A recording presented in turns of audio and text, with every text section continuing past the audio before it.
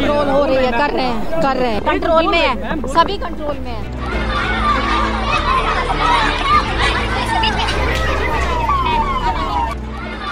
उत्तर प्रदेश के जनपद बहराइच के महसी क्षेत्र में 13 अक्टूबर को दुर्गा मूर्ति विसर्जन के दौरान हुई हिंसा में रेहुआ मंसूर गाँव निवासी 24 वर्षीय रामगोपाल मिश्रा की हत्या कर दी गई थी।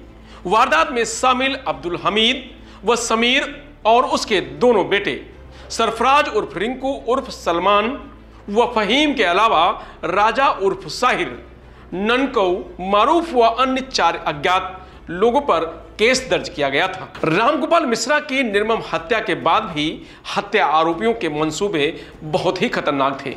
तभी तो उन्होंने हत्या में प्रयुक्त बंदूक को लोड कर छिपाया था। उसके साथ एक अन्य अवैध असलहा भी रखा था।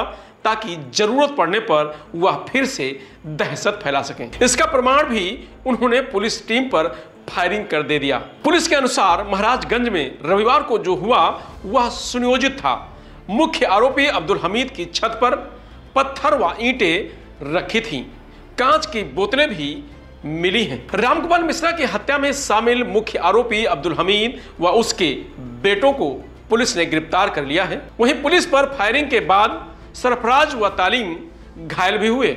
इसके बाद भी रेहुआ के ग्रामीण व मृतक के पिता व पत्नी संतुष्ट नहीं हैं। पिता कैलाश नाथ व पत्नी रोली का कहना है कि पुलिस की कार्रवाई से खुशी तो मिली है लेकिन पूरी संतुष्टि नहीं मिली है।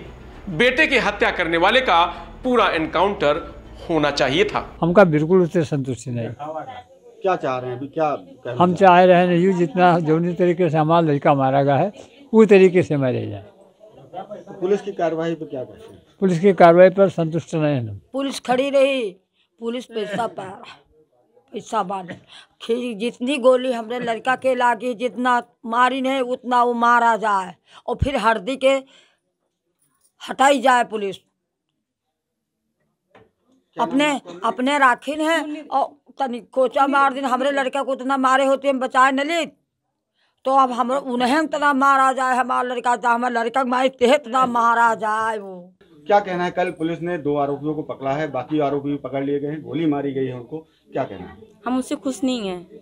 क्योंकि जितनी गोली हमारे पति के सीने में लगी थी उतनी गोली उन्हें लगी उन, वही उसी जगह लगी जिस जगह हमारे पति को लगी थी जितनी जितनी जगह हमारे पति को गोली लगी थी उतनी गोली उन्हें भी लगनी चाहिए। हम उससे खुश नहीं कि उन्हें पैर पे गोली मार के उन्हें हॉस्पिटल लेके गया मतलब बचाने की कोशिश की जा रही है। हम उससे खुश नहीं हैं। हत्या आरोपियों ने हत्या में प्रयुक्त बंदूक के साथ एक अवैध असलहा भी छिपाया था जो कहीं ना कहीं हत्या आरोपियों के मंसूबे दिखाता है। आरोपी कहीं ना कहीं घटना के बाद भी किसी बड़ी घटना को अंजाम देने की फिराक में थे। वहीं कुछ ग्रामीणों का यह भी कहना है कि हत्या आरोपी मामला ठंडा होने के बाद एक बार फिर दहशतगर्दी फैलाना चाहते थे। फ़िलहाल हिंसा के इलाके में पूरी तरीके से पुलिस फोर्स तैनात है और अभी भी वहाँ पर सावधानी बरती जा रही है ताकि अब आगे कोई घटना ना घटित हो सके।